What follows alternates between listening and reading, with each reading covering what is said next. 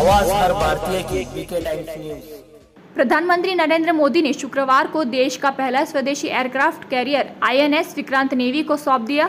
उन्होंने नए नौसेना ध्वज का भी अनावरण किया। उन्होंने कहा कि इस पर पहले गुलामी का प्रतीक था जिसे हमने हटा दिया है और नया नौसेना ध्वज शिवाजी को समर्पित है। आवाज़ हर भारतीय की बीके टाइम्स न्यूज़ गुजरात के अरावली के कृष्णापुर के पास एक तेज रफ्तार कार ने शुक्रवार सुबह पैदल चल रहे 12 यात्रियों को कुचल दिया। छह यात्रियों की जगह पर ही मौत हो गई। इनमें से ज़्यादातर यात्री पंचमहाल ज़िले के कालोल के रहने वाले थे। सभी अंबाजी दर्शन के लिए पैदल जा रहे थे। हादसे की वजह अभी तक पता नहीं चल पाई है।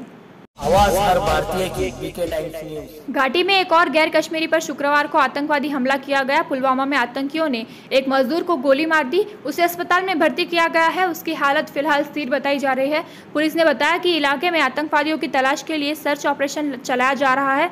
मजदूर का नाम मुनीरुल इस्लाम है और वह पश्चिम बंगाल का रहने वाला है। झारखंड में जारी सियासी उठापटक के बीच राज्यपाल रमेश बैस दिल्ली के लिए रवाना हो गए।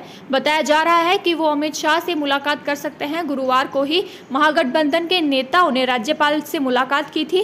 राज्यपाल को ज्ञापन सौंपकर मुख्यमंत्री पर स्थिति स्पष्ट करने को कहा था। सीबीआई के डिप्टी लीगल एडवाइजर पद पर कार्यरत जितेंद्र कुमार ने आत्महत्या कर ली है। उनका शव फ्लैट की बालकनी में बेल्ट के सहारे लटका हुआ था। वह दिल्ली के डिफेंस कॉलोनी एरिया के हुडको प्लेस में केंद्र सरकार की तरफ़ से मिले फ्लैट में अकेले रहते थे। उनका परिवार हिमाचल के मंडी ज़िले में रहता है। जितेंद्र कुमार की आत्महत्या की सूचना मिलने पर पुलिस ने शव को पोस्टमार्टम के लिए एम्स दिल्ली भेज दिया है। पुलिस ने मामले की जाँच शुरू कर दी है। उनके पास सुसाइड नोट भी मिला है, जिसमें लिखा है कि उनकी मौत का कोई भी जिम्मेदार नहीं है। जितेंद्र कुमार ने आत्महत्या क्यों की, इसकी वजह अभी साफ़ नहीं हो पाई है। खबरों में बस उतना ही। देखते रहिए बीके टाइम्स न्यूज़ लाइव अगर आपने हमारे चैनल को सब्सक्राइब नहीं किया है तो सब्सक्राइब कीजिए। और बगल में लगी घंटी के बटन को दबाकर ऑल पर क्लिक कीजिए ताकि आपको सच्चाई के साथ दिखाई जाने वाली खबरें मिल सके। जय हिंद। सब्सक्राइब कीजिए हमारे चैनल को और बेल आइकॉन को दबाइए।